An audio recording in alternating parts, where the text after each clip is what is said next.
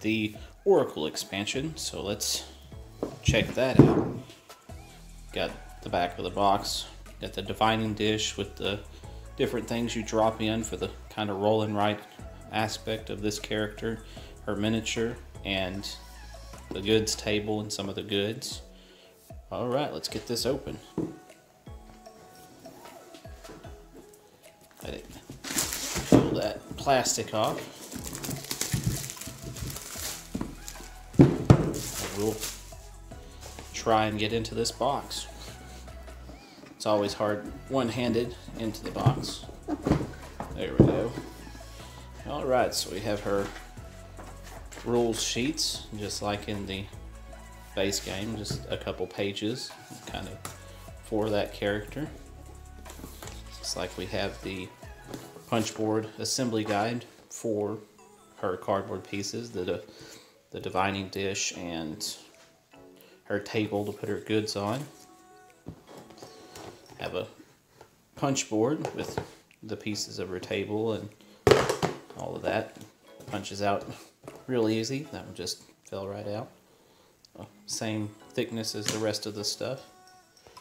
We have the board. It's kind of a more glossy, shiny because you draw on it with a marker.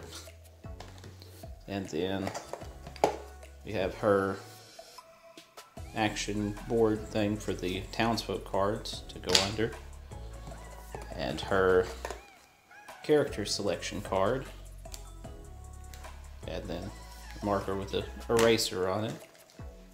And there is a token here. I don't know if that fell out or not. There's not a spot where it would have been in there that I've seen. Extra token. a bag with a bubble wrapped miniature. It's like 2d4 dice. A bag of plastic standees. And a bone and a meeple. It's screen printed. I think that's the, the voodoo meeple. And that's everything that's in the Oracle expansion. Let's set this to the side here, and I will grab the next expansion that I have sitting over here, which is the Dragon Rancher. So, hop into it. So, have the Dragon Rancher expansion. This was a extra they added at the end of the Kickstarter that you could buy and add on. And of course, I got all the add-ons. I'm really looking forward to the Innkeeper. Decided to get the Dragon Rancher. It's got the goods, in this case, they're dragons. I believe these are the dragon poop tokens, because you have to clean up your dragon's poop. And this comes with a bag with the food tokens and the board. So let's get this one open. Alright. I am ready to play this game. I'm going to try to actually play it on the day that I'm unboxing this. Even if I have to do a solo play. This box feels thicker than that box. It's harder to open. Well, let me set this down and open it real quick.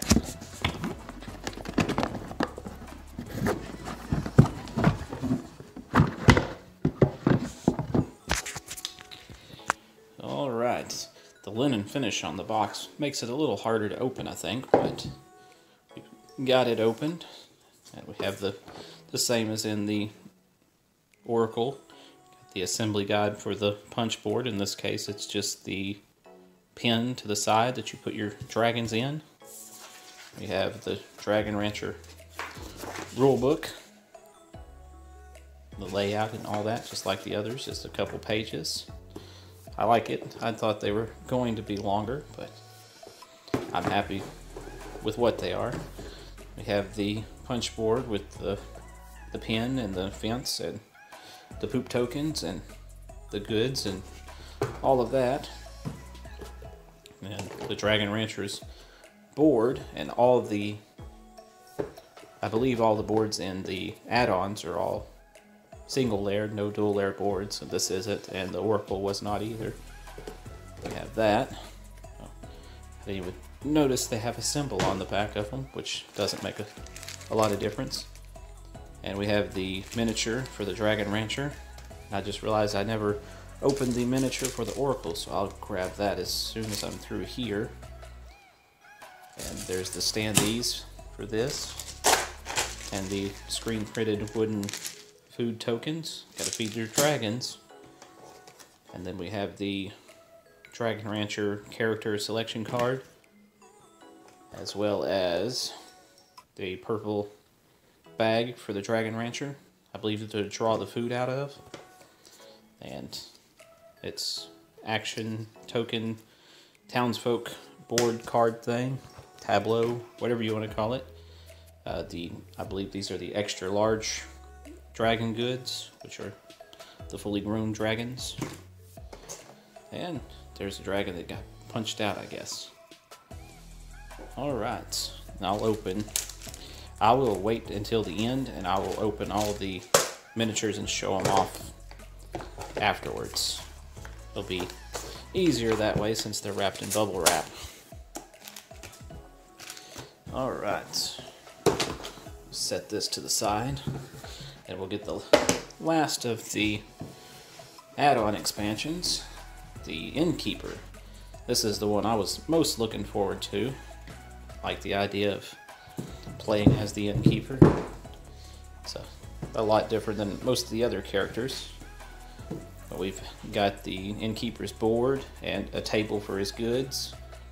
There's a, a better view of the table and the miniature and the 3D beds. All right. Get this plastic off. Seems the more I unbox, the harder it gets to unwrap. All right. Sorry about that, the camera cut off. But let's get back to the unboxing of the Innkeeper. First off, we have his uh, rule sheet. It's the same as the others, just a couple pages, easy, simple. And I believe his name is Mr. Nasty, which is also kind of neat. we got the shelf assembly and the bed assembly for his 3D elements.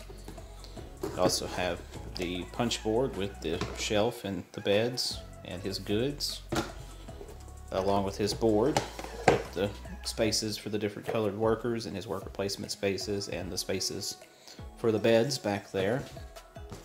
And then his miniature wrapped in bubble wrap like the others, along, with his townsfolk uh, board. You put the townsfolk cards, his character selection card, just like the rest of them have one of each except for the gray meeple, I believe, of extra meeples.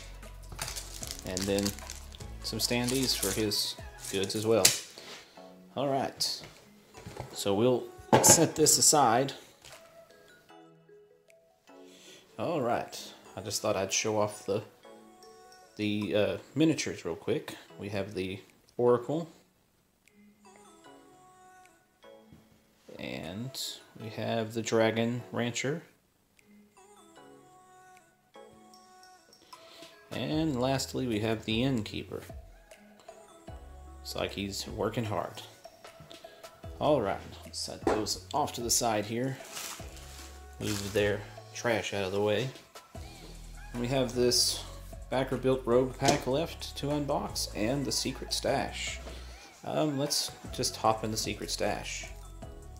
So this was all the extras that were added throughout the Kickstarter campaign. It's got a guy crawling out of a chest. He must not want anyone to take his secret stash.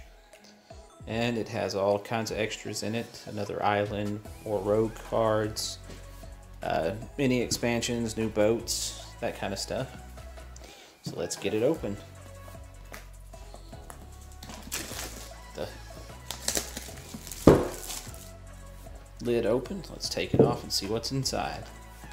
So we have the components list, all the components that come in the Secret Stash expansion, and the townsfolk cards, the gray goods that are added, the new boats, the new Halls of Plenty mini expansion, and the Dragon Island Festival, and different cards and everything, final scoring,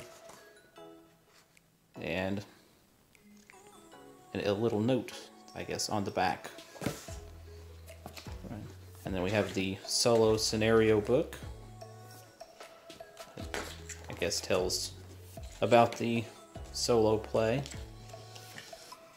I think this has way more pages than the regular rulebook. Yeah, the different scenarios in it. It looks like here in the back, 36 pages. You got a assembly sheet guide for the 3D boats that come in this.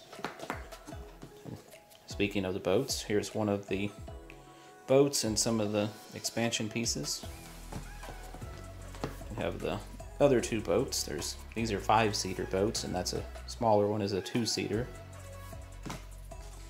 Have a few more pieces here. have some more uh, meeples. These are white with all different pictures uh, printed on them. We have a couple deals of cards, the uh, gray good tokens, and oh, these are the uh, boat uh, selection cards of where to place out the boats, I believe. And there's some more rogue cards in here. Uh, let me set down the camera. Alright, I'm back. Went ahead and pulled the plastic off all the cards. We could check out some of those. Have some of the rogue cards here that are in the Secret Stash expansion. Several of those, different ones. Um, there is... Try to set all these out of the way see what these other cards are. Have some, yeah, I believe these are the boat setup cards that show you where to place the boats. And yeah, we have some other cards here. Guess I should have left the rule book where I could get to it to see which cards were which. But have some new corruption cards, it looks like. Don't know what this new type of card is. And then more townsfolk. Got a Cyclops guy. It's like a, a goblin lady. A whole bunch of new townsfolk cards. Bring another one of those up to the camera here. And I guess all that's left to open is this, the backer built rogue pack. And I do not believe this is going to be a one hand friendly, so I'll be right back. All right, I went and grabbed some scissors and opened this up real quick. We have the backer rogues that were voted on and stuff in the campaign. Several different ones here. I believe these are Kickstarter exclusive if I'm remembering correctly. I have several different ones. And then you have several blank ones where you can make your own. Well, I guess that concludes the unboxing of Merchant's Cove, the Kickstarter pledge with all the add-ons and the secret stash and the backer rogues. I'm going to box all of this back up and if you liked what you've seen, don't forget to subscribe and like the video, leave a comment, and have a nice day.